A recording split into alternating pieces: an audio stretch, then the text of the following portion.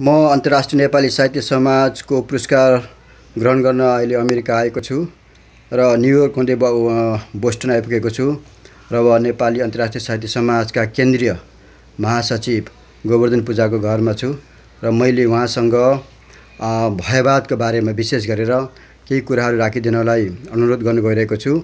र महासचिवज्यू तपाईँलाई अहिलेसम्म सुन्नुभएको आधारमा मैले बोलेको आधारमा पनि भयवाद बारेमा कस्तो लागिरहेछ? धन्यवाद देश सुब्बाज्यू तपाईँले जुन राम्रो काम गरिरहनु भएको छ नेपाली साहित्यको इतिहासमा इतिहास कोर्ने काम वादको सिर्जना गर्ने काम गरिरहनु भएको छ त्यो मैले लगभग एक दशक अगाडिदेखि नै सुन्दै आएको हो। अझ त्योभन्दा पनि पहिला हुनसक्छ डेढ दशकै भइसकियो। तपाईँले सुरु गर्दा ताकादेखिकै अवस्थादेखि म तपाईँसँग परिचित छु र यो वादसँग आबद्ध छु सम्बद्ध छु र मैले नजिक कहिले नजिकबाट हेरेँ कहिले टाढाबाट हेरेँ कहिले तपाईँसँग संवाद संवाद गरेर पनि यो विषयको बारेमा मैले जानकारी लि वादको बारेमा जानकारी लिइराखेको थिएँ। हामी बिचको संवाद भइराखेको छ अन्तर संवाद भइराखेको छ। र तपाईँले प्रतिपादन गर्न थाल्नुभएको भयवाद जिन्दगीसँग सम्बन्धित छ। जिन्दगी भयबाट गुज्रिन्छ जीवनको हरेक पाटो भयबाट भयभीत होइन? भय नै भयबाट गुज्रिन्छ ग्रसित छ भन्ने कुरामा तपाईँले जुन एउटा सिद्धान्तको प्रतिपादन गर्दै लाग्नुभएछ त्यो सर्वसत्य हो। हामी पनि त्यसमा हामी जीवनको त्यो नजिकको पाटोलाई हामीले हेरिराखेका हौँ। त्यस कारण पनि यो विचार यो वाद हामीसँग नजिक छ हाम्रो हामी हाम्रो सिर्जनासँग नजिक छ।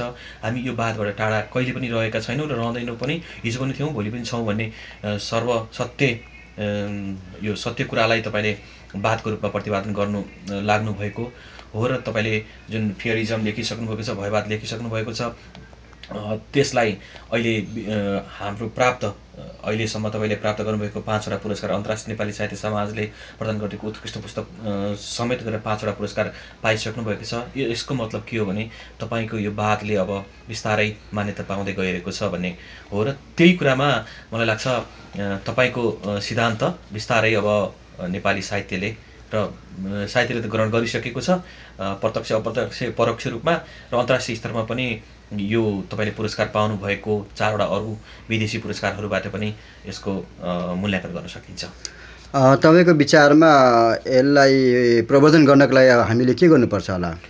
होइन एउटा मात्रै हाम्रो नेपाली साहित्यलाई विश्वव्यापीकरण गर्न सकेनौँ बजार लिन सकेनौँ भनेर जुन किसिमको एउटा गुनासो रहिराखेको छ त्यो गुनासोमा तपाईँले यसलाई अनुवाद गरेर फेरिजमको माध्यमबाट भयवादलाई फेरिजममा बदलेर अङ्ग्रेजहरू अङ्ग्रेजी पाठकहरू को माध्यमबाट विश्वव्यापीकरण अभियानमा जुन लाग्नुभएको छ त्यो नै एउटा ठुलो र महान कार्य हो। र मलाई थाहा छ तपाईँको अहिले यो पुरस्कार यो कृति अब कृतिको आधार मानेर अर्को अमेरिकी राइटरले पनि तपाईँसँग सह तपाईँको सहलेखनमा तपाईँसँगको सहलेखनमा अर्को कृति भयवाद सम्बन्धी अर्को कृति निकाल्दैछन् भन्ने सुनेको छु र कभर समेत हामीले प्रचार प्रसारमा आइसकेको देखेका छौँ। त्यो हिसाबमा यसले पक्कै पनि आगामी दिनमा विश्व स्तरमा यसले मान्यता पाउँछ भन्ने लागेको छ। धन्यवाद महासचिवज्यू तपाईँले भयवाद सम्बन्धी आफ्नो विचार राखिदिनु भयो। त्यसको लागि धेरै धेरै धन्यवाद।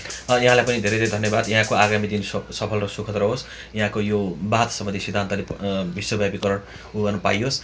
हामी नै यसमा यसको अनुयायी भएर हामी हिँड्न पाइयोस्। तपाईँ अगाडि हिँड्नुहोस्। हाम्रो साथ तपाईँलाई सधैँ रहनेछ। हस् धन्यवाद। नमस्कार।